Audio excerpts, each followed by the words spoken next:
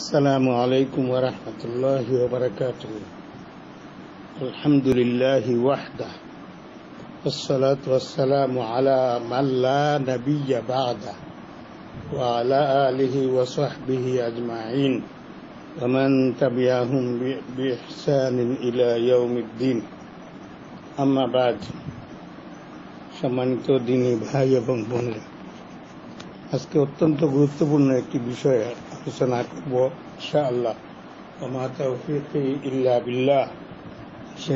হচ্ছে কোরআন সুন্নার আলোকে জানাজার নামাজ পড়ার সঠিক পদ্ধতি কোরআন সুন্নার আলোকে কোরআন এবং সহি হাদিসের আলোকে জানাজার নামাজ আদায় করার পড়ার পদ্ধতি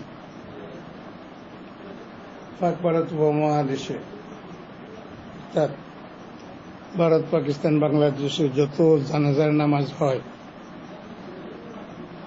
এর মধ্যে নাইনটি নাইন পার্সেন্ট জানাজার নামাজ সঠিক পদ্ধতিতে আদায় করা হয় না। এই জন্য মৃত্যু ব্যক্তির সর্বশেষ অধিকারটি সঠিকভাবে আদায় হয় না। মৃত্যু ব্যক্তির দুনিয়ার জীবনের জীবিতদের প্রতি সর্বশেষ যে অধিকার, সেটা হচ্ছে জানাজার সালাত বা জানাজার নামাজ। এই সর্বশেষ হক এবং সর্বশেষ অধিকারটি সঠিকভাবে আদায় করা হয় না। আমাদের সমাজে জানাজার নামাজ পড়া হয় সর্বোচ্চ পাঁচ মিনিট। সঠিকভাবে জানাজার নামাজ আদায় করলে কমপক্ষে দশ থেকে পনেরো মিনিট সময় লাগবে জানাজার নামাজ এই জন্য সঠিক পদ্ধতি আজকে আলোচনা করব, ইনশাআল্লাহ। গভীর মনোযোগ সহকারে আপনারা অনুধাবন করার চেষ্টা করবেন। জানাজার নামাজ, নামাজের শর্তাবলী। জানাজার নামাজ শুরু করার আগে কিছু শর্ত আছে, এই শর্তগুলো আমাদের জানা দরকার। জানাজার নামাজের শর্ত হচ্ছে নয়টি। প্রথম হচ্ছে এক নম্বর শরীর পাক হওয়া। দুই নম্বর সতর রাখা তিন তিন নম্বর কাপড় পাক হওয়া, চার নম্বর নামাজের স্থান পাক হওয়া, পাঁচ নম্বর কিবলামুখী হওয়া, ছয় নম্বর আকিল এবং বালিগ হওয়া, সাত নম্বর মুসলিম হওয়া, আট নম্বর যে ব্যক্তি নামাজ পড়া হচ্ছে, সে ব্যক্তি মুসলিম হওয়া, অর্থাৎ কাফির মুশ্রিকদের জানাজা পড়া যাবে না। যে ব্যক্তির জানাজা পড়া হচ্ছে, সে ব্যক্তি মুসলিম হওয়া।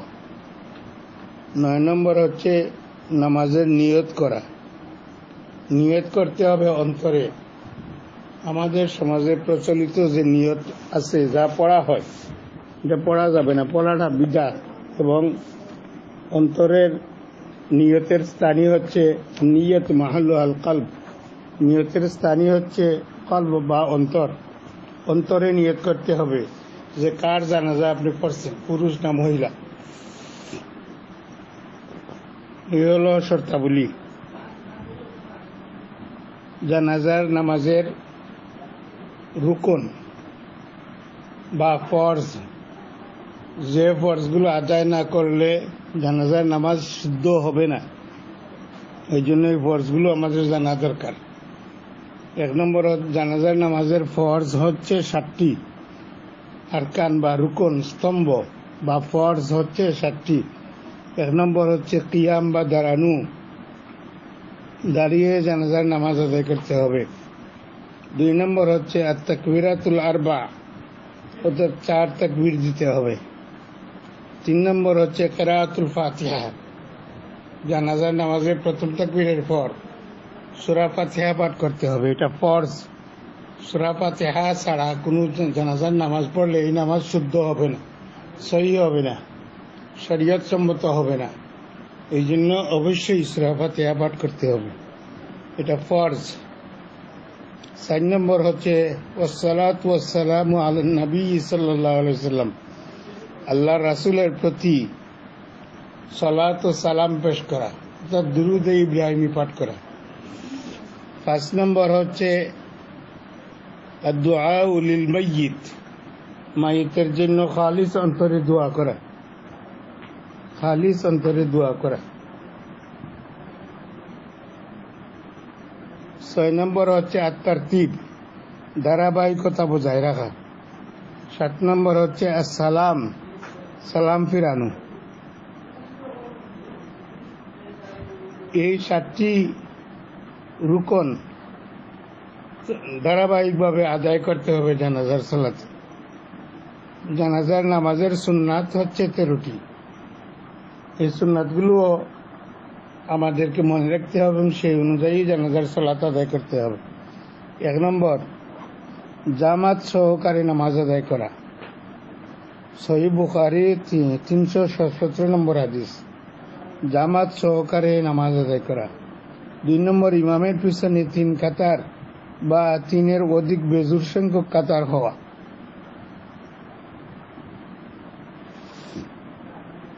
সহি তিনশো সতেরো নম্বর হাদিস। তিন নম্বর কাতার সোজা করা এবং মধ্যখানে ফাঁকা না রাখা। সলাতুল মুমিন, তৃতীয় খণ্ড, এক হাজার দুইশো আটাশি নম্বর হাদিস। চার নম্বর হচ্ছে, প্রথম তাকবীরে রফলি আদান করা, অর্থাৎ দুই দু হাত, কাঁধ অথবা কান বরাবর উঠানো। পাঁচ নম্বর হচ্ছে, ডান হাত বাম হাতের উপর বুকে স্থাপন করা। আল্লাহ রসুল সাল্লাহ ইসলাম ডান হাত বাম হাতের উপর রেখে বুকে স্থাপন করতেন। বুখারি মুসলিম আবু দাউদ নাসাই হাদিস নম্বর আটশো সাতাশি ইবনে খুজাইমা হাদিস নম্বর চারশো উনআশি মুসনাদে আহমদ পঞ্চম খণ্ড দুইশো ছাব্বিশ নম্বর হাদিস এই সুন্নাগুলো আমাদের মনে রাখতে হবে এবং সেই অনুযায়ী জানাজার সালাত আদায় করতে হবে। ছয় নম্বর হচ্ছে প্রত্যেক তাকবীরে রফলি আদান করা অর্থাৎ প্রতি তাকবীরে দু হাত হাত অথবা কান বরাবর উঠানো أن النبي صلى الله عليه وسلم كان إذا صلى على الجنازة على الجنازة رفع يديه في كل تكبيرة আল্লাহ রসুল সাল্লাহ ইসলাম যখন জানাজার নামাজ পড়াতেন তখন প্রতি তাকবীরে রফলি আদান করতেন অর্থাৎ উভয় হাত উঠাতেন দ্বারা কুতনি দ্বিতীয় খণ্ড দুইশো পঁচাশি নম্বর হাদিস।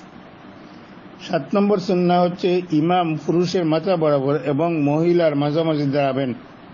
আবু দাউদ, তিরমিজি, ইবনে মাজা এক হাজার চারশো চৌরানব্বই নম্বর হাদিস।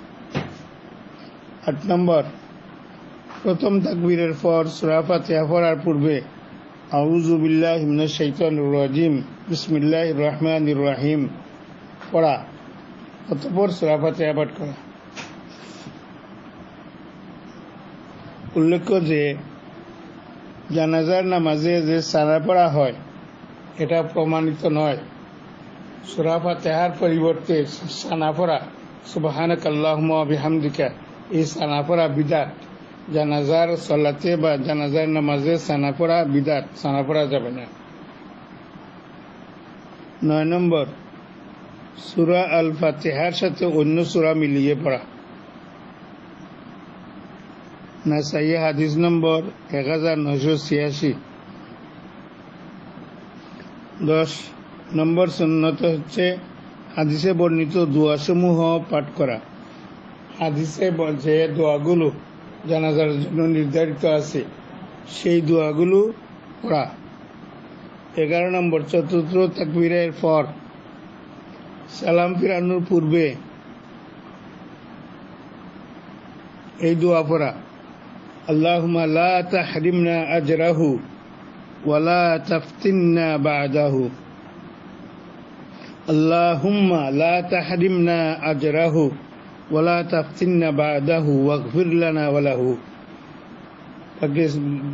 ভারত, পাকিস্তান, বাংলাদেশের কোন জানা যায় চতুর্থ তকবীরের পর সালামের পূর্বে এই দোয়া পড়া হয় না।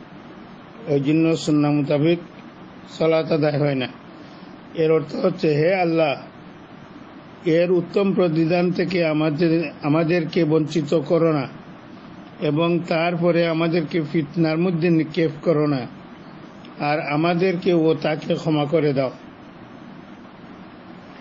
বারো নম্বর, সালাম ফিরানু। সালাম ফিরানোর সময় ডানে মুখ ফিরানু অথবা ডানে বামে মুখ ফিরানু। বাইহাকি চতুর্থ খণ্ড তেতাল্লিশ নম্বর হাদিস। ইরওয়াউল গালিল দ্বিতীয় খণ্ড সাতশো চৌত্রিশ নম্বর হাদিস। তেরো নম্বর সুন্নত জানাজার নামাজ শেষে জানাজা উঠানো পর্যন্ত দাঁড়িয়ে থাকা। নাসাইয়ে হাদিস নম্বর এক হাজার নয়শো উননব্বই। এই পর সরাইত এই এই সমস্ত শর্ট এবং ফর্স ও সন্নাগুলো মেনে জানাজার সালাত আদায় করতে হবে। আসুন আমরা এখন জানাজার সালাতের ধারাবাহিক পদ্ধতি বর্ণনা করব।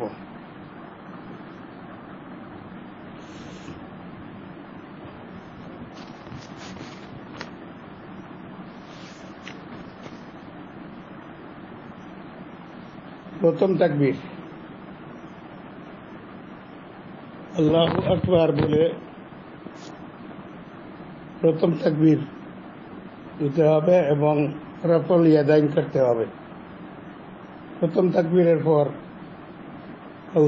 মিনা রাজিম বিসমুল্লাহ রহমান রাহিম বলে সুরাফা চাহা পাঠ করতে হবে। এরপর সুরাফা চাহা শেষ করে আমিন বলার পর বিসমুল্লাহ রহমান রাহিম বলে অন্য একটি সুরা পড়তে হবে। এরপর গেল প্রথম তাকবীরের পরের কাজ। দ্বিতীয় তাকবীর। দ্বিতীয় তাকবীরে হচ্ছে প্রথম তাকবীরের মতোই রফলি আদান করতে হবে এবং অতপর এটা দ্বিতীয় তাকবীর। দ্বিতীয় তাকবীর দিতে হবে এবং বুকে উভয় হাত স্থাপন করে দুরুদ পাঠ করতে হবে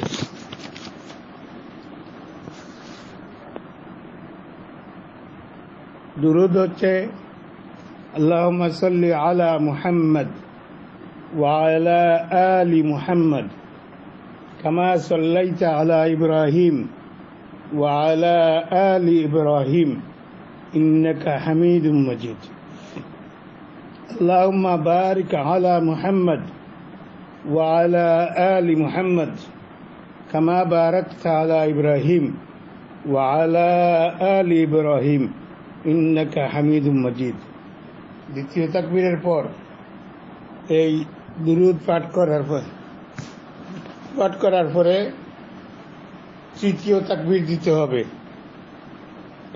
এই তাকবীরে রাফল ইয়াদান করতে হবে, আর রাফল ইয়াদান করে তাকবীরের সময় রাফল ইয়াদান করবে। রাফল ইয়াদানের পর বুকে উভয় হাত স্থাপন করতে হবে। তৃতীয় তাকবীরের পর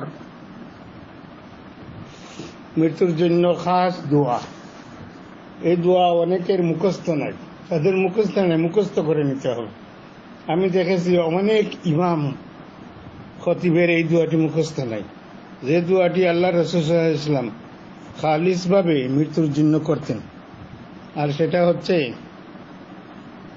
তৃতীয় তাকবীরের পর যে দোয়া, সেই দোয়া হচ্ছে আল্লাহ মাকফির লাহু ওয়ারহামহু ওয়া আফিহি ওয়া আফু আনহু ওয়া আকরিম নুজুলাহু ওয়া ওয়াসি' মুদখালাহু واغسله بالماء والثلج والبرد ونقه من الخطايا كما ينقى الثوب الأبيض من الدنس وأبدله دارا خيرا من داره وأهلا خيرا من أهله وزوجا خيرا من زوجه وأدخله الجنة وأعذه من عذاب القبر ومن عذاب النار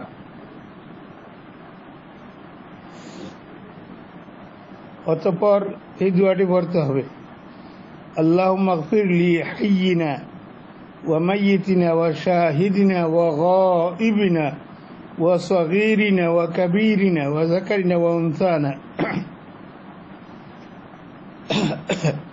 اللهم من أحييته منا فأحيه على الإسلام ومن توفيته منا فتوفه على الإيمان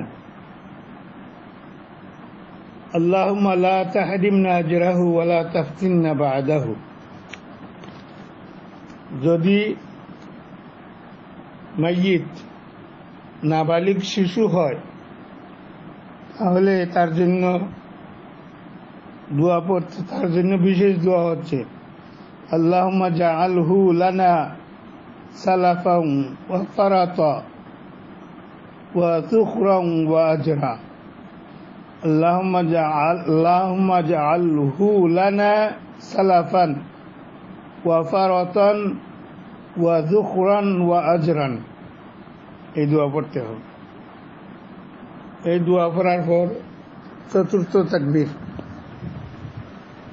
সেম তৃতীয় মতো আল্লাহ আকবর বলে রাফলি আদান করে, উভয় হাত বুকে স্থাপন করতে হবে।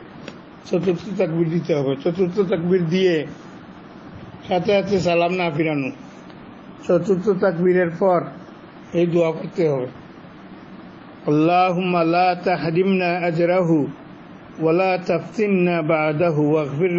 ওয়ালাহু অর্থাৎ হে আল্লাহ, এর উত্তম প্রতিদান থেকে আমাদেরকে বঞ্চিত করো না এবং তারপরে আমাদেরকে ফিতনায় পেল না।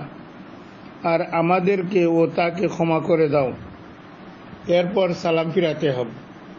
সালাম ফিরানোর সময় ফিরানোর সময় ডান দিকে ফিরতে ফিরাতে হবে। ডান দিকে, শুধু ডান দিকে সালাম ফিরাইলেও সালাদ শুদ্ধ হবে অথবা ডানে বামে সালাম ফিরাতে হবে।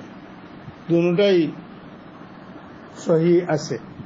সঠিক পদ্ধতি আজকে আমরা এখানেই শেষ করছি وآخر دعوانا أن الحمد لله رب العالمين سبحانك اللهم وبحمدك أشهد أن لا إله إلا أنت أستغفرك وأتوب إليك